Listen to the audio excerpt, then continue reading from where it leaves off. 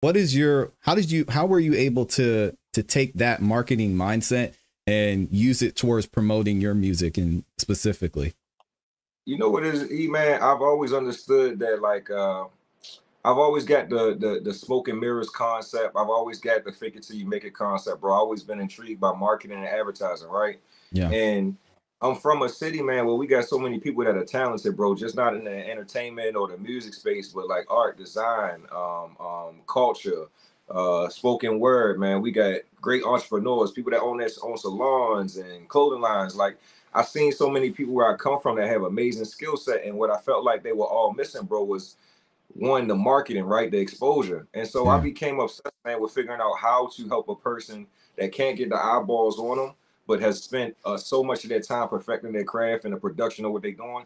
How do we help them get the eyeballs that can help them actually monetize the brands, right? Yeah. And it started off in college, man. Like I went to school. Uh, McDaniel College is out here in Baltimore, bro, and it's like it's off the outskirts. It's not University of Maryland. It's not Towson. It's not UMBC. It's a much smaller school. But I mm-hmm. wanted to go be a big fish in a small pond. And what I realized, bro, is that if I could bring the people to me, then of course they could see my talent, right? They could see my ability. They could see what I was capable of. Right. That translates into corporate America, bro. And like I said, my first uh first big corporate job, man, I was working with Agora, and my job was to drive traffic to a company and a brand that had certain products that was big in a Wall Street space, man, financial news space. Yeah. And I honed those skills, man. And what I learned how to do is to figure out what inflation looks like, right? How can you help somebody look more popular than they really are? And yeah. people are big on social proof. So I'm a master, bro, of you know manipulating social proof, yo. All you really need to have is a quality product, and I think most of the people out there have taken care of that part. And 90% of them are missing in the marketing aspect, right? They're missing in that that man. engine in that machine. You nailed it, man. And this is something I, I specifically specifically wanted to ask you because so many artists I work with, they I'm trying to think of how I should say it. They don't see the benefit to to playing the game, quote unquote, right? Like you're right. saying, there's so many other pieces to just making great music, which is a big part of it. And you know, as we know, you were able to do that. But what's your what's your message to somebody who says you know ah, i don't know about all this marketing stuff. You know they play the game. I just want to put and i know you talked to probably hundreds of them right? Artists who think thousands man. Yeah that same way. So what's what's your message to them when they're they're starting thinking that way? You know what bro? I'm from like i said bro i'm a, I'm a realist and i'm extremely yeah. transparent. It's like um it's like I tell the guys, man, where I'm from, bro. If you get into the streets, right? Let's just give you an analogy. You get into the streets, you know what comes with that. One is no rules, right? And you got to protect yourself at all costs. So yeah. for the guys that get into a certain lifestyle and they like, I didn't sign up for this, bro. Well, you know, you know, you got to prepare yourself for all things, right? It's the it's the it's the battles, bro. It's the it's the war of attrition. So the way that I look at the music industry is that how do you want to be a part of an industry but don't want to accept everything that comes along with it? You mm. understand what I'm saying? Say it that's again. Just, just, that's just unacceptable mentality. It's an unacceptable mentality and an unacceptable mindset. Yeah. So for me, I found the guys that I felt were talented, bro. And like I said, I'm related to some of these young guys, bro. And they have been doing the same thing for 10 years, E. And it's like, bro, since when do you think that putting out more music or better music is going to get you different results if you didn't change up the way that you approached your rollout for the last decade? Yep. And as I watched their skill set get better and better, I also watched their demeanor and their passion for what they were doing decrease because they weren't seeing the results that they wanted to see. Absolutely. And when somebody says, bro, I'm not going to come and play the game, well, those are the people that we're not here to convince. They can sit on the sidelines and eventually when it clicks, right, we'll be here to go ahead and mold them and guide them and show them what's going on. And that's why YouTube is dope, bro they'll be able to play this video back years from now, right? Yeah, they'll absolutely. be able to come back and look and be like, "Yo, he was giving me the game a long time ago." It's people that still haven't seen my documentary, right? And yeah. they'll come back to 2022 and be like, "I wish I knew about streaming farms and contracts and 360 deals and how torrent worked."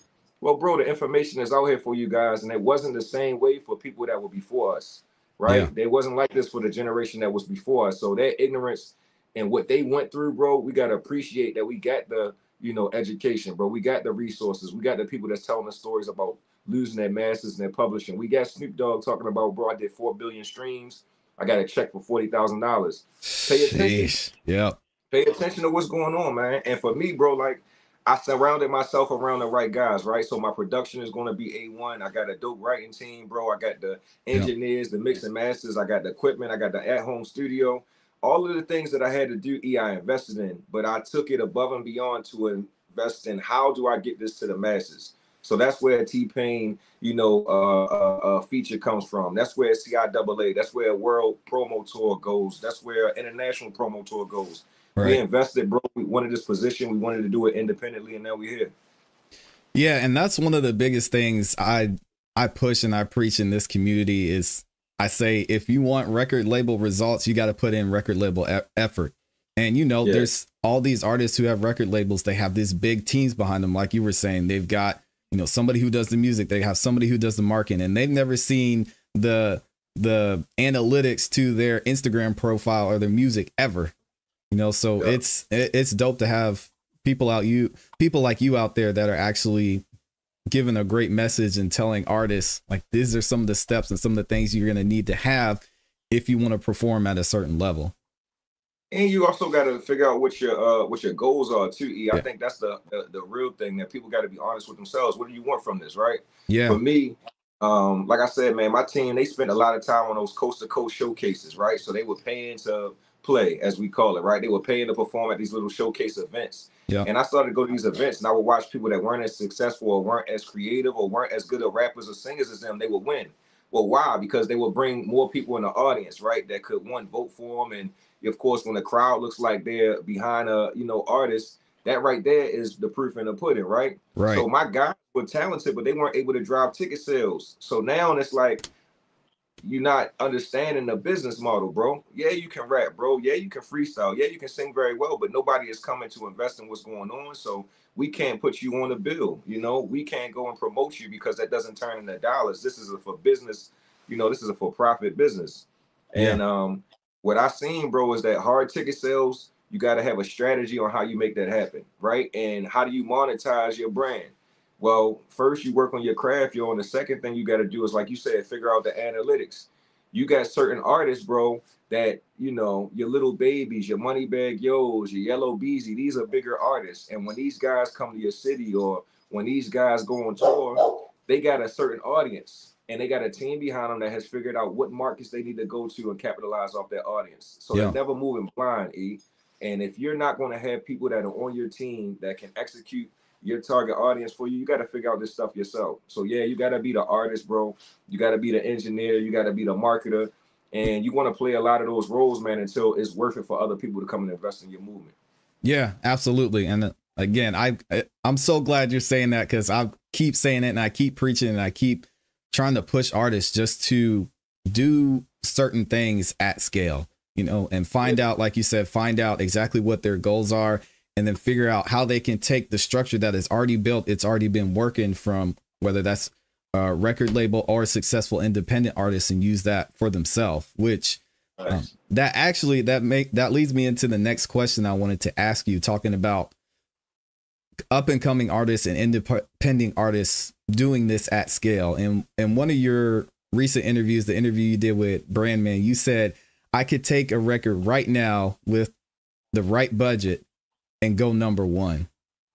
And that man, that is such a powerful statement. Not only because you know you're you're saying that you have the knowledge to be able to push a record or push an artist the right way, but you also there's an opportunity there to have the conversation with independent and up and coming artists of how they can kind of carve their path to getting to that point if that's their goal. Maybe they want to make maybe they just want to make a good living. They say they want to make 10,000 off 10,000 a month off of their music. So what would you using that point at scale, what would you say to an artist that says, "Hey, I just want to make you know money off of my music. I don't know where to start. I've got the music side of things. Now I need to find a path moving forward." I think uh like I said, breaking down them numbers, man, E, first and foremost, bro. Like I think that people fail to plan and you know, failure to plan is planning to fail, right? So let's sit and look at what you just said. And and this is dope. If you look at my background right now, and I got my own university and it's basically showing artists yeah. like multiple ways to take their music independently and make 10K per month. I feel like you know, making six figures with your music is a is a is a courageous goal. You know, and after taxes, you're gonna have a little bit of change left. And if you reinvest the right way, it makes sense. So let's put it like this, bro. If you do three million streams a month, right, on Spotify, you know, at the rate that they paying us right now, that's ten thousand dollars. Yeah. Right. So what plan does the artist put in place to go and get three million streams? Now you got the content creation aspect, right? Are you creating content every day, right? Are you promoting that single on a consistent basis? Are you being, you know, creative in the way that you do things? How are you standing out? All right, that's one aspect. Running ads, right? You got Instagram, TikTok, Facebook, YouTube, Google. You got all these platforms that you can run ads. If you don't know how to run ads yourself, you can pay somebody off of Fiverr or you can teach yourself, right? So how do you yeah. cut the cost? You got to make things make sense. So you got different ways to drive traffic to your brand and you don't just got to concentrate on one single. I'm a guy that talks about catalog, right? So I do the Brand Man Network, and I'm like, look, guys, I got yeah. a catalog of 200 records. Yo, people might know my one record, Dance with Me, Chad Focus, and T Pain. But as far as that record and the money that we spent, I'm still in the red, bro. When you go get a big time feature and you need all of this money and all these bells and these whistles, you got to make a lot of money on the return on investment. Absolutely. Whereas there's records that cost me fifty dollars to make, and that record has made me five thousand dollars. That's a much more conscious and smart approach. So right. I think strategy got to make sense. E. Um, as far as what I do in the streaming space, bro, I basically went and I figured out catalog so that I was able to use these machines and these systems, these labels do, and stay underneath of the radar. I can't send a million streams a day to one Chad Focus record as an independent artist, raise a red flag, but I can send a million streams to 200 records, to 2,000 records a day, spread it out, bro, and get different distributors to pay me a certain percentage on all those records. Think yeah. about how the record label moves, bro. They don't got just one artist that monetizes the entire, you know, company. They got thousands of artists, bro. They own thousands of records. Yeah. So I'm also in the music publishing space. E. I use platforms like Royalty Exchange. I use platforms like Songvest. I own pieces of Nicki Minaj, Katy Perry, Day 26. I own pieces of TLC. Like just a young black kid from Baltimore that decides to invest in a different way, right? Yeah. When the Jordan releases come out, bro, I don't know and I don't care because I'm trying to figure out the long game, right? This is my yeah, that's right. Right? So I don't got a PlayStation. I got a laptop, I got a microphone, I got this little podcast setup that you see. So I've decided to take certain sacrifices, bro, to invest. And that's the most important part that we should be telling these artists. Business plan, sacrifice, figuring out your infrastructure to drive traffic. $10,000 a month, right? That's 3 million streams. If you do a couple shows a month, could you figure out how to do eight shows, bro? where you're making fifteen hundred dollars a pop, you paying off your expenses. Do you know how to rent a venue? Do you know how to book other artists? So it's different ways to kind of figure this out. E. Yeah. And independently, it forces you, bro, to kind of execute it differently, bro. It allows you to sit back and think and strategize. And if somebody else doesn't do it for you, you got to do it for yourself.